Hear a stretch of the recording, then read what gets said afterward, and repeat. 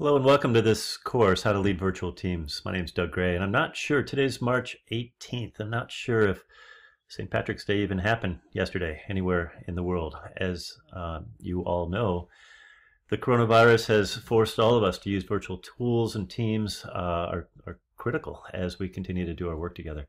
To be clear, there's a bunch of different perspectives on this. One is that we've had um, virtual teams as as long as we've had recorded history. We've always had a fiat from a king or or some leader that was distributed to some dislocated or remote team, and then they did or didn't do that. But I think we've got uh, a compelling argument for a lot of more significant changes. In fact,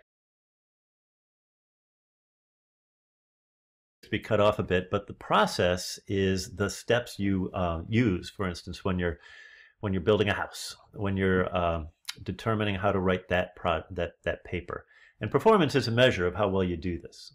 So as before, I'm going to give you a little structure, a little agenda.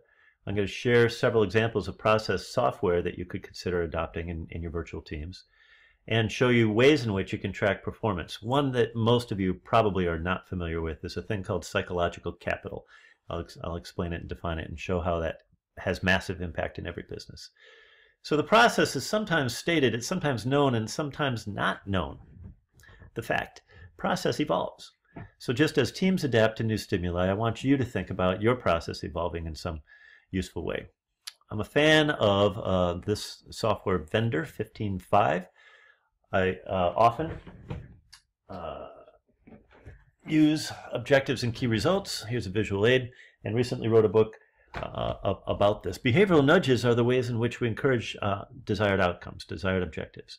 So an objective is what you want to do, and a key result are the three or four ways in which you measure your uh, achievement.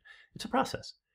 Uh, the, the goalposts don't change, to borrow that metaphor. They're there, and we get closer to them, whether we're on offense or defense, farther back.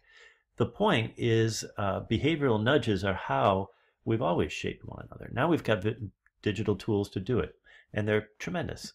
Uh, a more I don't know, adopted example from bigger companies is Microsoft Teams. Uh, not only can you then access your, your library of content, but you can create teams within teams within teams, and you can have visual representations using graphs and charts of how uh, well that team is, is progressing. So you get performance data.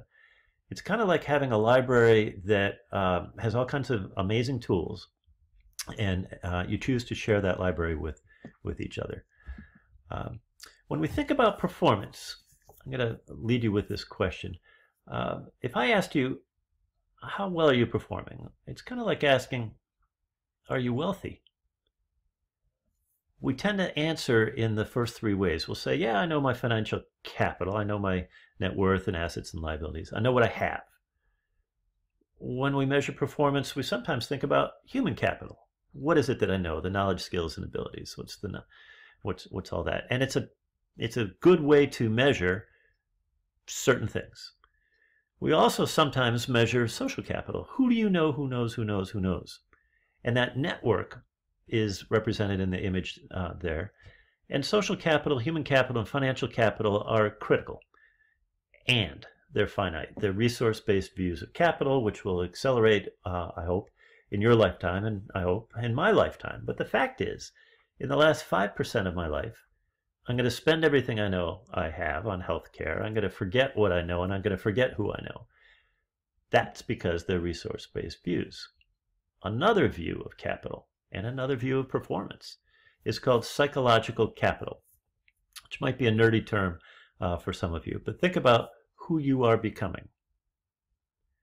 PsyCap is defined as that possible person who may or may not be better than he was a week ago or a month ago, or she better than she was a week ago or a month ago. So performance is an organic, evolving thing, and PsyCap is not a mythological concept in any way. In fact, there are four variables that work together, and they have a second order effect. When you've got all four of these, there's a more significant correlation. You'll see the numbers here than there would be if you had hope by itself. So let me define them briefly. Hope is the will and the way that will cure cancer or you'll do a better job in your virtual team. Efficacy is your capacity to share information. Just as I'm spouting stuff now, uh, I speak too fast when I'm excited. I get it. I'm trying to be efficacious. Resilience is our capacity to return to a previous level after a loss or a higher level. The American military is being taught resilience, and the loved ones of each of those warriors is being taught resilience. Optimism is a generalized positive affect. We choose to be optimistic or not. You can choose to be pessimistic. But if you choose to be optimistic, you'll live longer, have better health, better relationships with your loved ones and, and others. And all four of these things have this second order effect, which plays out in the workplace. Some people in this program might be thinking about workplace employee engagement scores.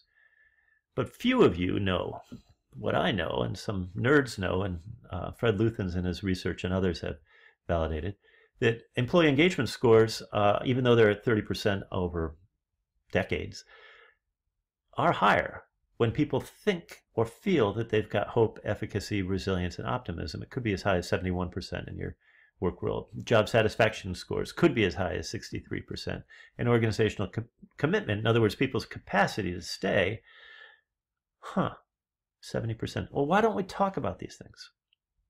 I think it's because we're distracted and we don't hire and we don't reward for hope, efficacy, resiliency, and optimism. You don't need a nine box or three by three chart. A two by two is more than adequate. Anybody who's a talent risk on the lower left should either be taught about PsyCap now that you know this much about it, or let go. And I'm saying that with um, conviction because all four of these are dynamic variables. Hope is a capacity to, to uh, the, the will and the way to create a better future. That's a belief. Efficacy is your capacity to do your job. Resilience, and that's easily measured. Resilience is that capacity to respond to stress or a loss at a uh, from a previous uh, experience at the same level or higher. Resiliency can be taught. Optimism can be taught. Well, the uh, upper right and and other three quadrants are ways in which you can plot your people. Let's say you've got 10 people. If you plot them based on PsyCap on the left side and the performance on the right side, these are objective measures. There's nothing subjective or funky or fuzzy about that. Why don't we do this more often? I think we could. I think you could in about six minutes. You take your 10 people, you plot them on a high or low, and you determine who you're going to keep. We do this sometimes, sorry for this being cut off, uh, with engagement scores. You probably know of uh, uh, a thing called the Net Promoter Score, NPS. And Net Promoter Score is a common question that a lot of companies, it's the only feedback tool that they use to measure performance. The question is, to what extent would you recommend friends and family to work in your organization? Did you know that it's a logarithmic scale, 1 to 10? 6, 7, 8, 9, and 10s are called promoters. Everybody else is a distractor, detractor, or they're passive. Well, what if you asked a similar question about your virtual team? Is the current information distribution process meeting your needs? It's a one question survey. The goal of it, it's, it's kind of like a mini survey, is for the team to increase that score over time. You could track it over time. A pulse survey is when you ask it once and you take the pulse on a regular frequency. The value for your customers and, and users is obvious. Maybe you know this, but feedback from digital companies is uh, quick and easy so they can do a, a, an A and a B, say two different home pages on, on a website, and they can look at user responses to B and compare it to A and say, well, we need to go with B because there's more adoption over time. This is how iteration occurs. And uh, based on that feedback, you can look at the performance of any of your customers. I don't, I don't care who it is.